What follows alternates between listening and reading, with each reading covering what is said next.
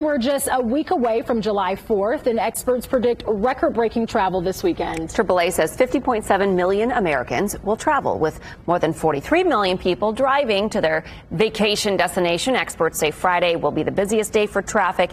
Gas prices are expected to be well below last year's numbers, but anyone flying could pay up to 50% more than last year.